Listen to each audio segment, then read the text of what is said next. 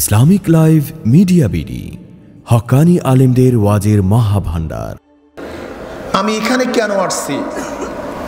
আপনারাও বা কেন আসছেন? আমি দাওয়াত তাবলিগের নিসবতে এখানে আসছি। কিসের নিসবতে ভাই?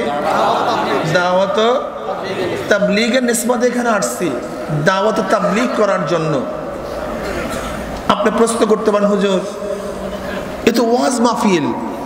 আপনি এটাকে দাওয়াত বানাইয়া দিছেন? এটাকে তবলিগ বানাইয়া দিছেন। আপনারাই তো ভেজাল করেন।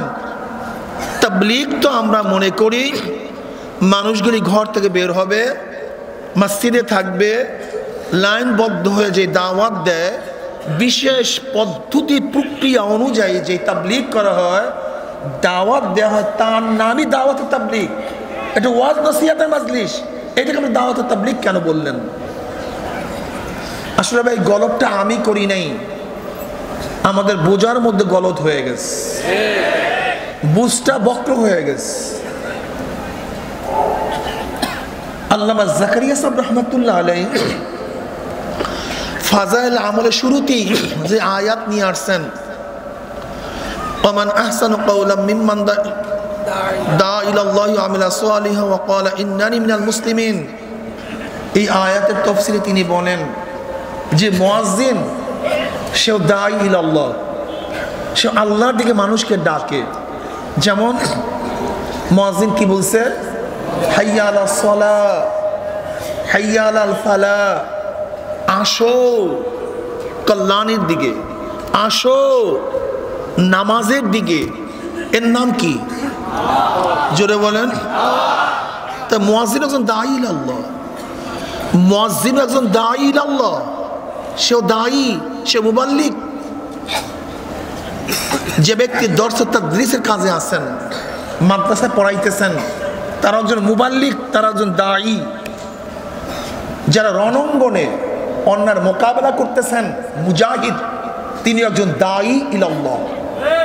যারা লিখালিখি করতেছেন, দিনের কিতাবাদি লিখতেছেন, তারাও একজন দায়ী।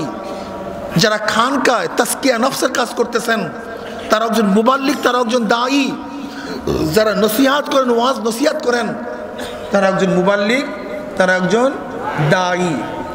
আপনি এইভাবে বলেন, ওইটাও দাওয়াত, এইটাও দাওয়াত, ওইটাও তবলিগ, এইটাও তবলিগ, ওইটাই দাওয়াত না, এইটাও দাওয়াত না, এইটাই দাওয়াত না।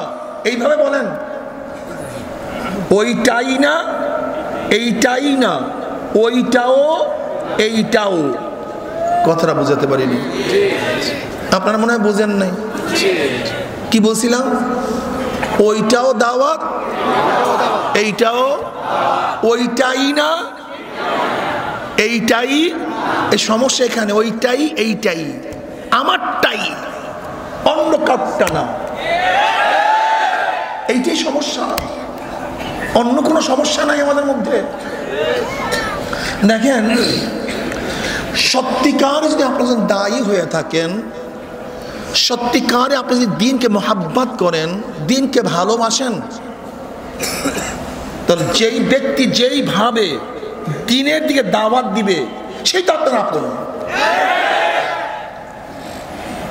সেই তো আপনার সহযোগী। সেই তো আপনার সাহায্যকারী। আপনি চান কি? দিনকে স্টাবলিশ করার জন্য, দিনকে শক্তিশালী করার জন্য, দিনকে প্রচার করার জন্য।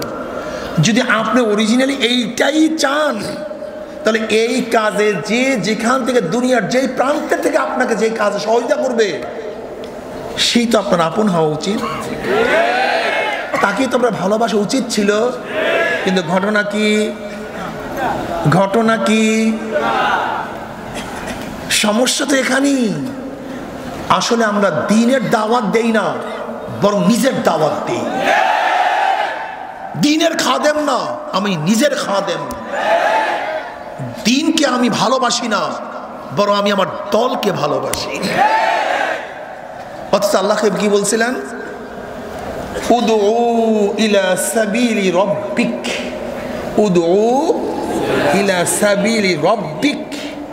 ডাকো মানুষদেরকে তোমার রবের রাস্তার দিকে। রবের রাস্তার দিকে। কিন্তু আমরা ডাকি নিজের রাস্তার দিকে, দলের রাস্তার দিকে। এটাই খতরনাক। এর জন্য গোটা দুনিয়ার মধ্যে হক, দাওয়াত যারা দিবে, তারাই আমার সাথী। নিত্য নতুন ওয়াজ, কেরাত ও ইসলামী সংগীত পেতে আমাদের চ্যানেলটি সাবস্ক্রাইব করে সাথে থাকুন।